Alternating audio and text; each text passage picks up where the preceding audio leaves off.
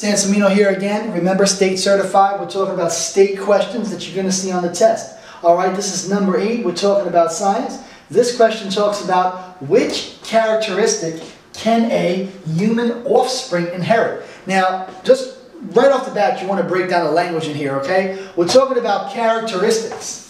Okay, if you look at Mr. Sansomino, if you had to describe a characteristic, you say he's wearing a green sweatshirt jacket. Um, you say that he has black hair. You say that he's short. Okay, those are characteristics, physical things you can see.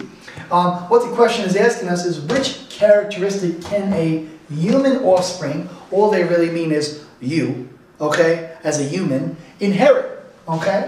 Now, how do you inherit something?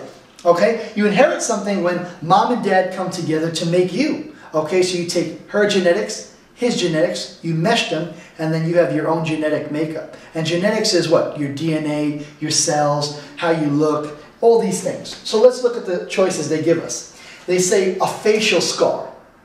Now let's think about that. Can you inherit a facial scar? Like if dad has a facial scar, are you going to be born with the same facial scar? No way, right? So that's got to go. Totally out of the question. All right, blue eyes. Now when we're talking about blue eyes, could they potentially be inherited genetically? This is one we want to keep our question mark for, okay? Uh, long hair. You know what messes this one up? Because it says long, okay? Whether you have long hair or short hair, that really all depends on how long you want to grow it, okay, and how much patience you have to deal with all of it.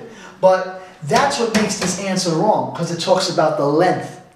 Okay, genetically, genetics don't control length, they control color. So this is that. Okay, so the language, you always want to pay attention to the language there. And a broken leg.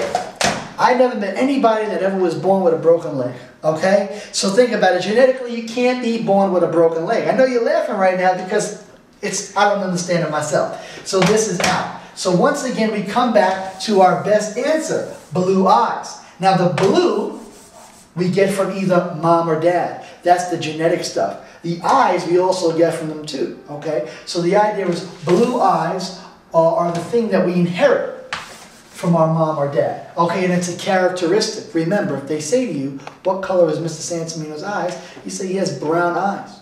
All right, so thinking about that, blue eyes is the best possible answer.